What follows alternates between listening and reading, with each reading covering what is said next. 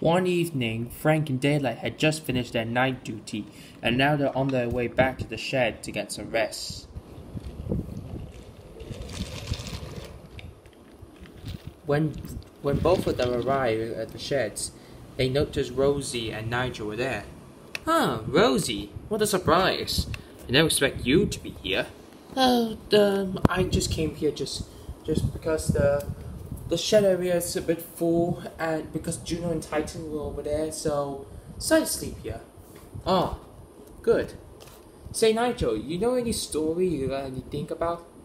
Hmm, I think I know one. You know that one, Rosie? Oh yes, I remember that one. Wait, what story? Don't you know? Back when I used to uh, first came to the yard area and meet her, as well as the others, it was actually good. And there's also a funny incident too. I can't re- I can't really remember. Me too. Really? said Nigel. And here's the story.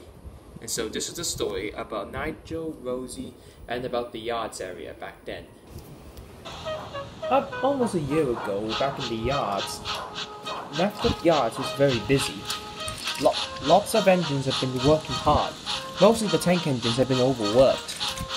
But but some of us are really glad that we have that we have Philip that day. But unfortunately, we still need more help.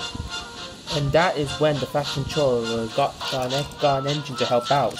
And that was and that was the day when we met Ryan.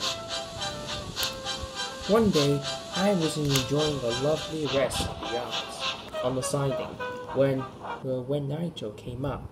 I was surprised to meet him when the Fat Controller came up to me.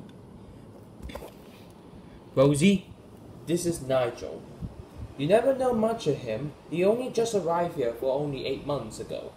So I hope you make him welcome to the yards. He hasn't been much to come to the yard, but he did heard from many engines to be to come to come this area. And it's the final time he did come. Hope you make him a good welcome. Oh, uh, hi, uh, N- Nigel. Hello there, Rosie. My, I say, Thomas told me all about you. Oh, really? Oh, great.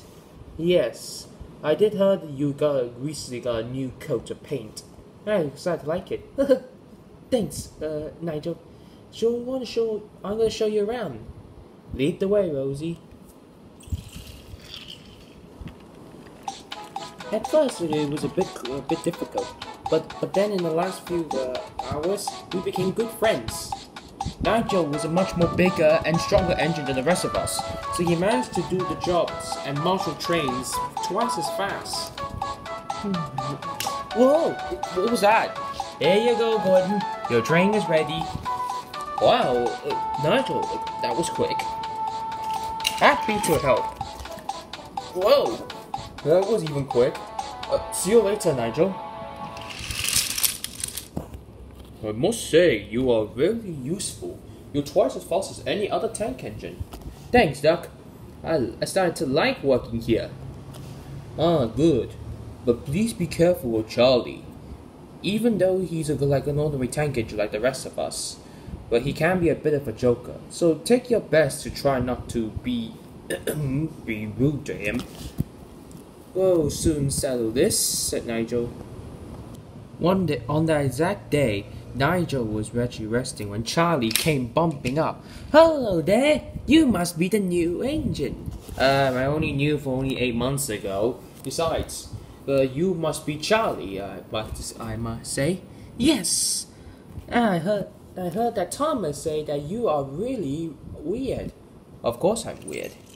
Ah, you started to meet Charlie, do you? Oh, you are starting to make new friends with her, do you? What? Are you talking about, Charlie? What? Because you guys have been seen talking a lot. They like you almost on a relationship. Ah! Are man? Come on. Let's get. Come on. You guys really talk a lot. Like, like could be all romantic. Oh my god! Just get the hell out of here. All right then. Whoa! I never thought you managed to get him away that quickly. Yeah, uh, that's what I had a bit of a learning to do. So, never mind. But that let's start working, do you? Oh, yes.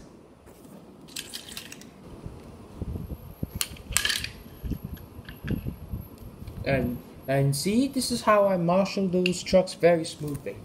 He said. He said to the to some of the engines. Wow, amazing! Just then, Henry came in. Oh, good morning, everybody. Oh, good morning, Henry. Is that the is that the tanker train? Yes. I want you to marshal each marshal the train into place. Would you mind?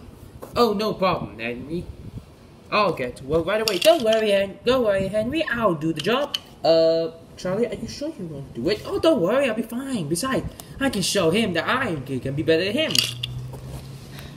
What's going to this time? Well, let him be. Let him get into trouble. I better do all something else. See you guys later. See you. Be careful, Charlie, said Henry.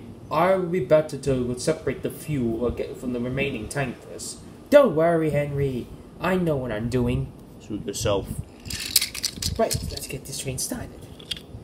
But Charlie, however, was still planning up to no good. The tankers were only just close by, and Harvey noticed that that, that Charlie was coming coming towards them at high speed. Look out, Charlie! said Harvey, but it was too late. He bumped the tankers really hard, sending most of it flying all down the line. Don't worry, I'll stop it, said Rosie. But later it got worse. The brake van came off the rails, and the rest of the tankers came off the rails too. Now Rosie was stuck. Worse still, sparks from her brake from the from her brakes ignited the fuel right in front of her. Now she's surrounded. Help! cried Rosie. I'm stuck. Don't worry, I'll help you, cried Thomas, who came over. No, said Harvey. You might get a situation too. As he was right. The blaze began to uh, slowly begin to rise, and Rosie couldn't. Rosie started screaming in fright. Belle quickly arrived at the scene and couldn't believe it. Oh dear, there's going to be a bit of a muddle. How are we going to get part, going to get her out? Oh, do it, Nigel. I can definitely do this. Besides, I usually bump trucks really hard, even though they're busting into flames. Trust me. Watch this. Uh, good luck with that. Oh, don't worry about me. Here goes nothing. Rosie knew that Nigel heading straight towards him. She shut her eyes and hoped for the best. She bumped the tankers out of the way, forcing them out of it, and delivery just pushed them over onto the siding in spite they're still on fire. Don't worry, Rosie. Hold on tight. Nigel pulled her out to safety. Oh, well, that's quick. I'll put out the blaze. Fiery Flynn to the rescue! Ah, thanks, uh, Nigel. You're welcome, Rosie. Glad to help a friend. Huh. It looks a little bit embarrassing, I'd say. Never mind, Thomas. Fortunately, Belle and Flynn managed to tackle the blaze, and then Henry and Edward arrived with Rocky and the Breakdown Gang to help to clean up the mess. The Fat Controller arrived on board Philip. He had, we- he had heard, the- heard already, and keen to see them see everyone's alright. Well done, you Nigel, you did simply save Rosie from her life. He he did absolutely so brave. What a good engine he was. Yeah, I couldn't believe he managed to just managed to bump those uh, flaming trucks out of the way and save her life, and nearly caused an explosion. Ah, thanks, guys. Nigel, I'm very proud of you. You have done the most horrific action I ever seen from any engine who ever done it. You're not a really useful engine. You are a really useful, brave engine. I'm glad to have you here in the yards. Maybe in future you can work more often. Thanks, sir, but I rather prefer working on the main line for some time. Yes, shit. But I would like to come here more often and to see Rosie and you all. And all the engines whistled and cheered for Nigel. That's a very interesting story, said Daylight. Ag- agreed, said Frank. What happened to Charlie after that? Well, said Ro- said Rosie. After the incident, the Fat Controller has been stern words to Charlie. You'll be spending the next three months in, in here, he said, and you should be ashamed of yourself. You could have seriously injured someone with your carelessness. I'm sorry, sir, said Charlie, and he indeed felt very silly. Oh, uh, okay then. And so that's the end of the story, said Nigel. You like it? I love it, me too. Yes, it was. It's great to have you here, Rosie. Besides, I could we could use more company. And soon they were all asleep.